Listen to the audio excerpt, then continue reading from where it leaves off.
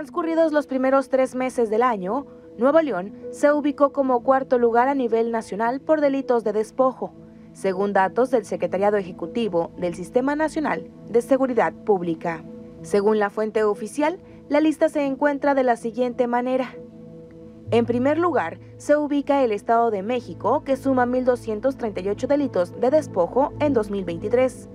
Luego se encuentra Ciudad de México con 982 y le sigue el Estado de Veracruz con 536 carpetas de investigación por ese delito, mientras que Nuevo León suma 381 casos en el primer trimestre del año.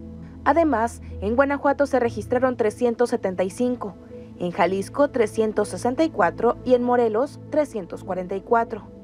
A nivel nacional, del 1 de enero al 31 de marzo del año en curso, se registraron 7.824 delitos de despojo, el 53.93 de ellos en solo 7 entidades.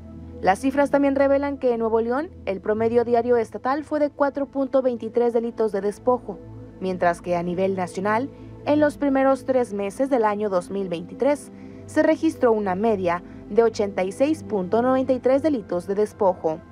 Apenas en 2022, la entidad cerró como octavo lugar nacional con 1.360 delitos de despojo. Con información de César Cubero, Telediario.